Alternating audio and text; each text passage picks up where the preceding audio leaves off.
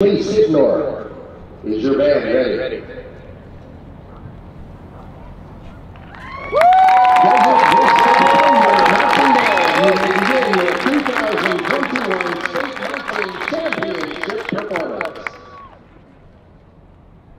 What if everything you were looking for was hidden in plain sight?